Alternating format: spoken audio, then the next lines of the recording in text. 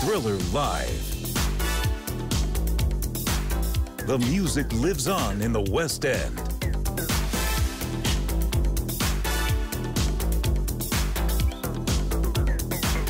Book now at thrillerlive.com.